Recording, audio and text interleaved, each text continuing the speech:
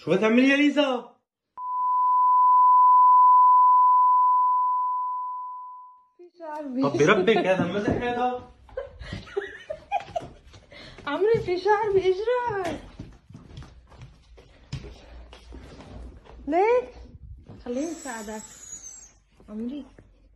يا ليزا كثير قوي هذا. عمري في عندك شعر بإجرك كتير.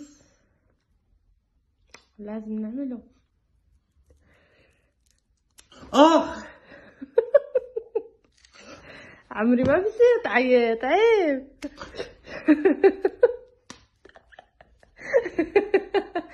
يا عمري.